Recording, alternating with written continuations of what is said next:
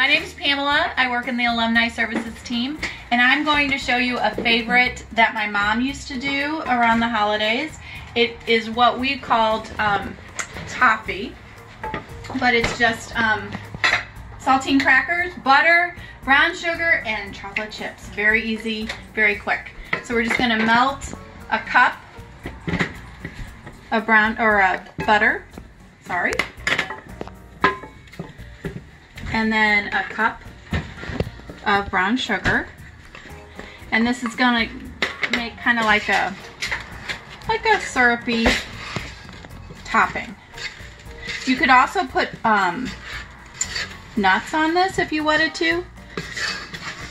This might take a while because my butter is really cold. So to make it go faster, pull your butter out early and let it sit to room temperature.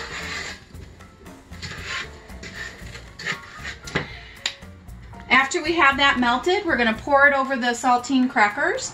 We're going to bake it for five minutes, just five minutes at 400.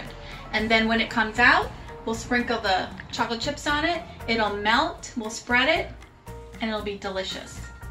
Then you'll put it in the fridge and let it get hard, kind of crispy. And it will be yummy. And we'll show you our end result in a minute. So we're almost done with the melting of the butter. All the lumps out.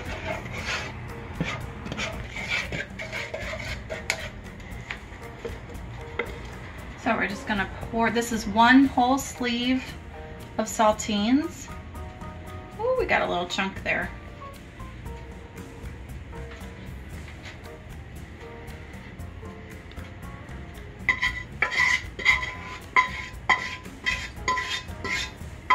And take your frosting spreader.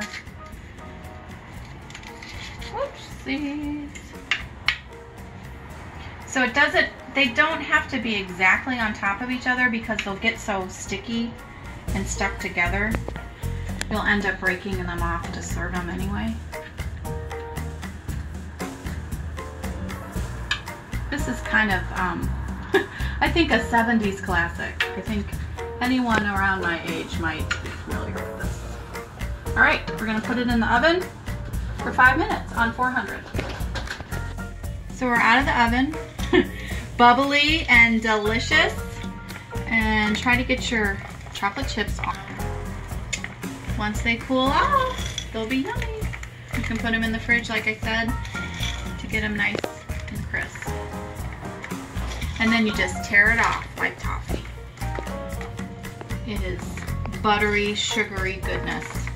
And the salt on the saltines adds a little bit of spice. Perfect sweet and salty. So here's our finished product, our taffy, or toffee. I sprinkled a little bit of crushed pecans on top just to make it look a little nicer. Don't forget to use your parchment paper on the tray when you put it in the oven just to make sure that it doesn't stick to your pan. It makes it easier to get it off. And then um, chill it so that it's crispy and hard. And enjoy.